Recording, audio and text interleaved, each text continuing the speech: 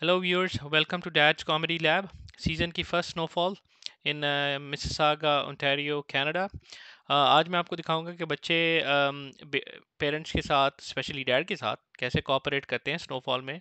Let's see जी तो सबसे पहले बाहर जाने से पहले सर्दी प्रूफ होना पड़ता है. जैकेट और कैप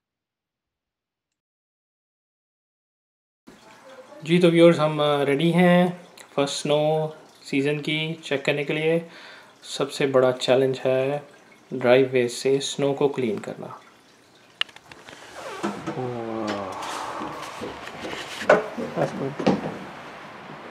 ले आओ।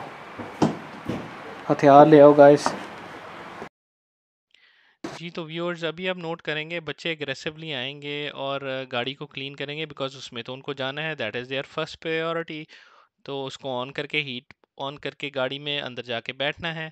Then they will do a little bit snow cleaning and then it is all dad's job of course family cooperate तो करेगी, लेकिन आकर गाड़ी में हीट ऑन करके बैठने और पापा स्नो क्लीन करने की